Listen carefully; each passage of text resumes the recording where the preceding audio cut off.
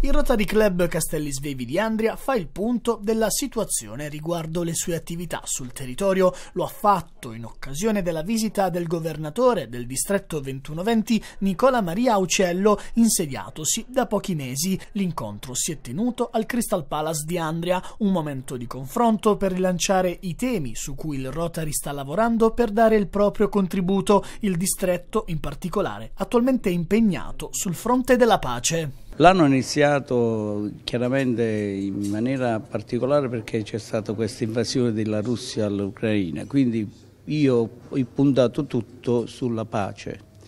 Infatti il Rotary con tutti i club, tra cui il club di Andre che stasera devo visitare, è impegnato proprio per questo, alla risoluzione dei conflitti. Le tutte le nostre azioni sono basate su questo. Grande attenzione anche al tema della violenza sulle donne e non solo. Abbiamo fatto un concerto di sensibilizzazione a Bari con una raccolta fondi che ci permetterà di sponsorizzare una ragazza che continuerà gli studi, ragazza che eh, veramente ha bisogno di questo aiuto e noi lo daremo. Poi stiamo procedendo a, a divulgare la, la visione del, dei costruttori di pace come Rotary.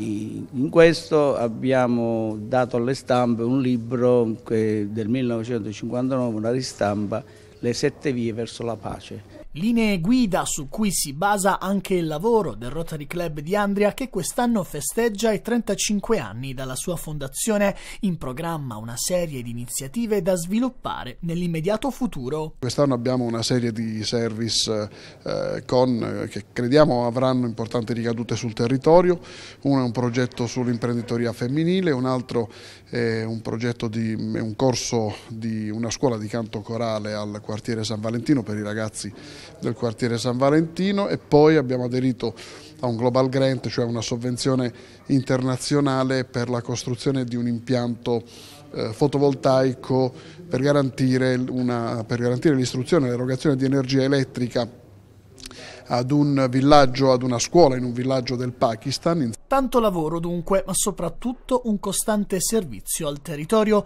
questo lo spirito del Rotary.